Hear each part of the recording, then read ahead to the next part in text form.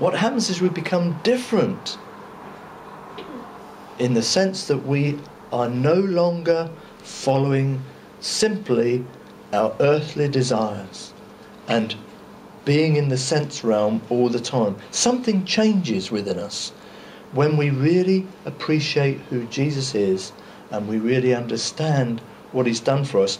There is a love that comes for Jesus that defies knowledge. It defies understanding. You know, Paul says there are two laws at work in me that wage against each other. There is the law of sin and death, and then there is the law of love through Christ Jesus. And they're at war. And so suddenly I become a Christian and I have a tension that goes on inside of me. One side of me still has the animalistic lusts and desires that I had from, from birth.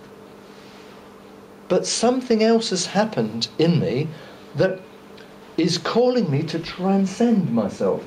Deep is calling to deep. And there is a, a desire in me that wants to, to be reconciled, to be at peace with the Father. And I find that through Christ. I find that in the love of Christ. When I see what Jesus did for me on the cross, suddenly it melts my heart.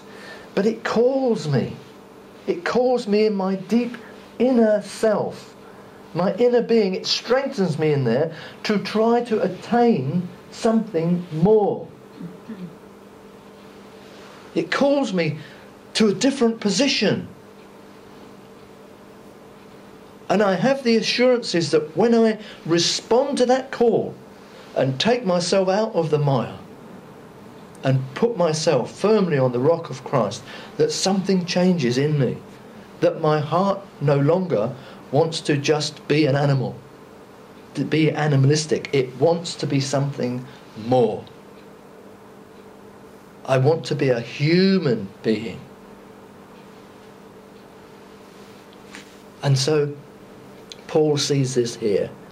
And he says that you being rooted and grounded in love. So if everything that you do from now on is rooted and grounded in the love of Christ, in the understanding that you have of love through Christ, which, which doesn't go with the world's knowledge, it doesn't sit with the world's knowledge. The world doesn't understand how you can really love Jesus Christ. The world doesn't understand how you can love a God you can't see.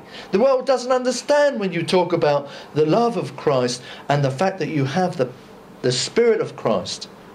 That Jesus loved you so much that He sent you a Holy Spirit to be with you. They don't understand that because that passes the knowledge. How can you, as a sinner, as someone who's a murderer or an adulterer or a thief. How can you be loved by God? Passes knowledge. How can I, a mere sinner, be loved by a holy God? It passes knowledge. It passes the understanding. Because you, you know in this world that you don't get anything for nothing. you know, and so it's very difficult to accept the free gift of love of the Lord Jesus Christ, isn't it? It's hard to swallow that pill. It's the medicine we all need, you know, but, but can we swallow that? It's really difficult because we can't earn it. We can't pay for it. We can't have the status to get us there. There's nothing we can do to gain our salvation.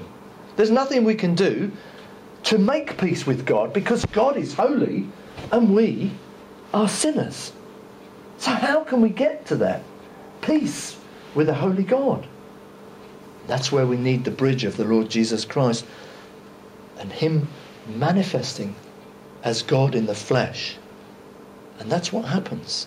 He comes to us as a Saviour, and His love for us passes knowledge that while we were still saying, God, we're not interested, while we were still saying, I don't need God, while we're saying, I'll run my own life the way I want to, I don't need any, any saviour or anything like that. What do I need that for? My life is fine.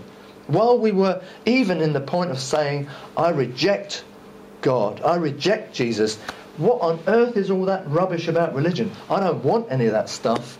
Even when we were in a position of, of talking against Christians, of talking against the church, of talking against Jesus Christ, perhaps even hating God, God, in the Lord Jesus Christ, still loved us.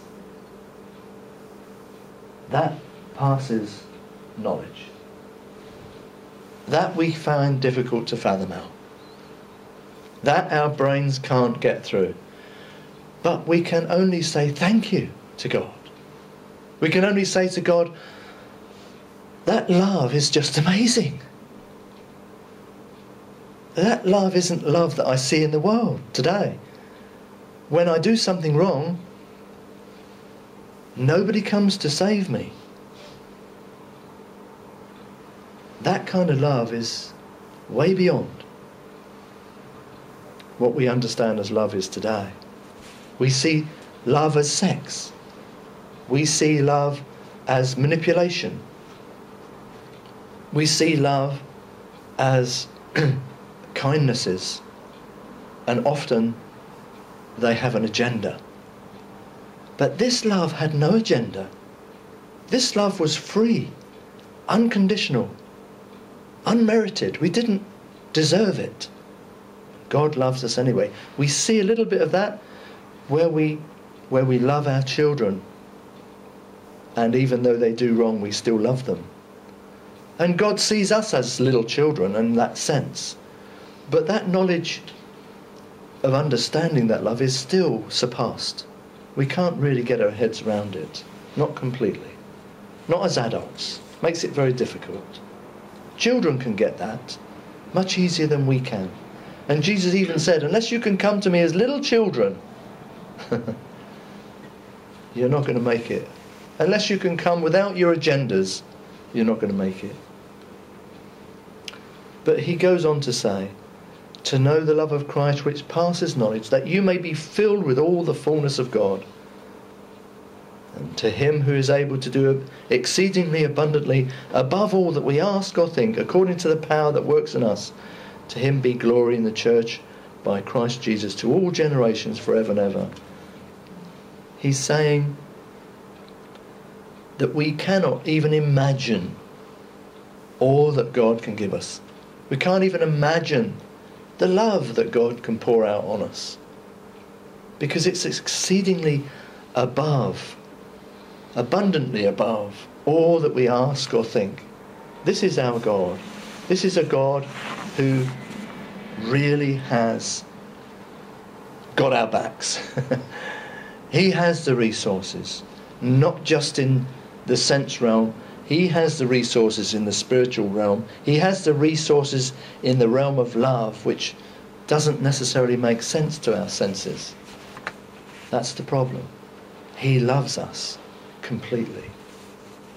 And then we come to the gospel, finally, the gospel of the Lord Jesus here in John's Gospel, chapter 2, verses 1 to 21. And we see here a picture of Jesus caring for the people. This is, this is God in the flesh. This is the Father in the flesh showing that he wants to care for his children. 5,000 men sat down on the mountain that day. And all they had, all they had, Peter